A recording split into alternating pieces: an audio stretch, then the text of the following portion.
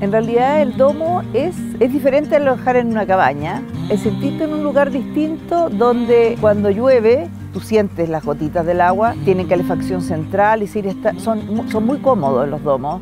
Son solamente unidades habitacionales. Además el entorno que hoy día tenemos acá es privilegiado para los domos.